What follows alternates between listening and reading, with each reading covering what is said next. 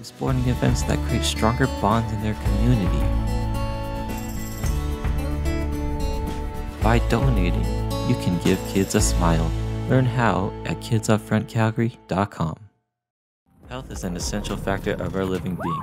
Although there are various exercise, tasks, and ways which are beneficial to our well being, limited options also include having fun.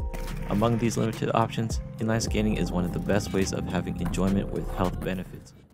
I start the fire and I meet just so many. I've met hundreds and hundreds of people this evening.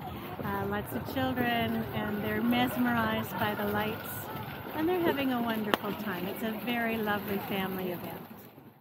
One is staying in the loop, the other is that wormhole. Take a chance either way. I leave it to you.